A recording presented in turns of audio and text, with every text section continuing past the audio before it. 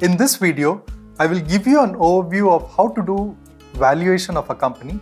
But as you can imagine, running a valuation of a company is a very elaborate process. Unfortunately, I won't be able to do that in this video, but please do visit the financial modeling module on Varsity to understand how this can be done on an Excel sheet.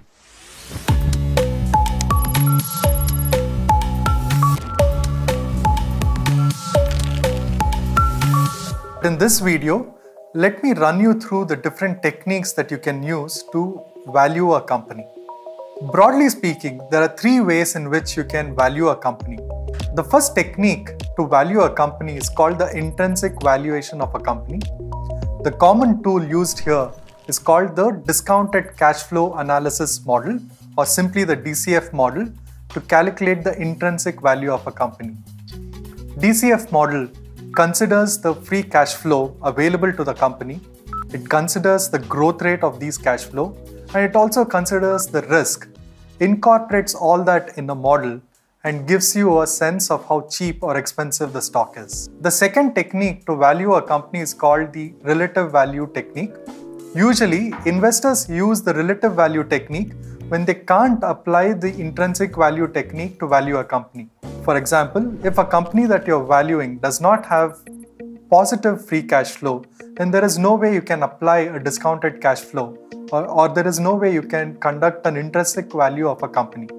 So this is a situation where you value a company based on relative valuation. In relative valuation technique, you usually compare two or more companies belonging to the same sector and measure the common metrics such as cash flow, price to sales, price to book, debt to equity, and any other variable that you think makes sense to get a sense of how one company is priced against the other. While doing so, you can finally arrive at a decision to buy or sell a stock based on how cheap or expensive the stock is trading. The third technique to value a company, which is relatively new in the industry, is an option based valuation. In an option based valuation, the value of a company is contingent upon an event. For example, assume that there is a pharma company which has applied for a patent. The value of this pharma company will be unlocked only if the patent is approved. Now, how will you value this company? Clearly, there is an option like structure here. The value is unlocked only if a certain event happens, in this case, patent getting approved. So, in such a situation, you use the option pricing formula to value this company. This is a fairly complex valuation technique compared to the intrinsic or the relative valuation technique. As an investor, I would suggest you get comfortable with the first two techniques of valuation that's the intrinsic valuation and the relative valuation technique.